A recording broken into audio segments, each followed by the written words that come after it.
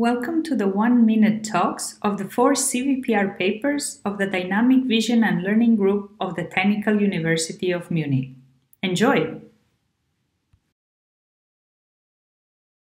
Hi, my name is Guillem, and I'm going to present our work on learning a neural solver for multiple object tracking. Our goal is to determine the trajectories of all objects in a video. This problem can be split into two tasks. First, detecting objects in every frame, and then linking them into trajectories. The second step is often treated as a graph partitioning problem, in which every node represents an object detection and every edge a possible temporal link. Typically, different cues are first combined to define a cost for every edge, and then these are used within an optimization framework to select the edges that are part of trajectories. In this work, our main contribution is a neural network that operates on the graph domain and can both extract features and predict the final graph partition. More specifically, we build a graph in which spatial temporal and appearance cues are encoded as node and edge embeddings. We then use a message passing network to propagate these embeddings across the graph. Finally, we classify edge embeddings into active and non-active to obtain final trajectories. Thank you for your attention, and please see our longer video for further details. Hello, we are presenting a focus and defocus paper. In this work, we focus on depth estimation from a focal stack that is trained only on synthetic data but still can generalize to real data. Depth estimation models are hard to generalize outside their training data domain. We propose to focus on domain-invariant features such as blur, which can be modeled mathematically in synthetic data. To be able to use blur, we use focal stack as an input. Focal stack is a set of images taken from the same position, so you don't have to move your camera, but with different focus distances. Whole capture process takes seconds. We use permutation invariant networks to first estimate defocus map and then depth map. Permutation bias networks allows us to compare between different input images to estimate amount of blur to determine the focus and depth maps.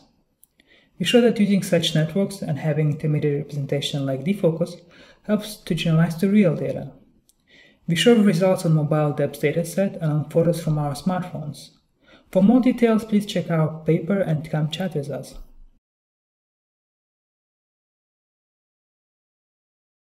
Are you interested in detection and tracking but still worried about data privacy? We definitely are, which is why we have been working on CIAGAN, a method to anonymize video data, like this. We want to be able to use video footage to understand the scene around us, and autonomous cars should too.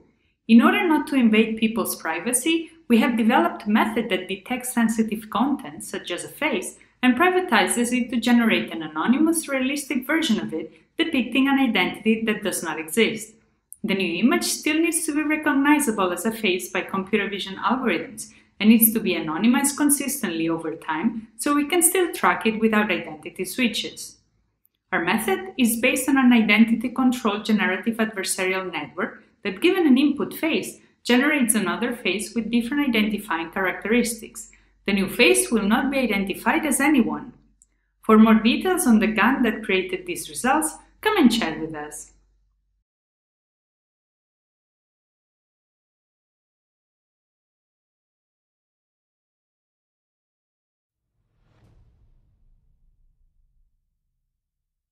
In this paper, we proposed a MOT training framework directly derived from MOTA and MOTP metrics.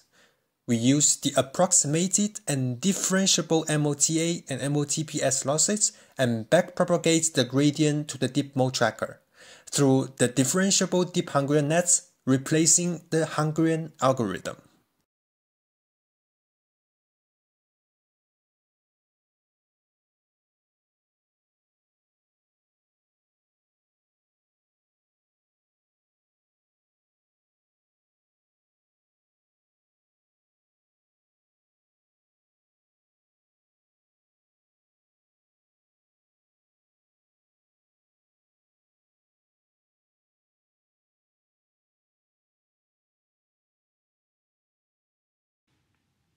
To know more about our research, do not hesitate to visit our website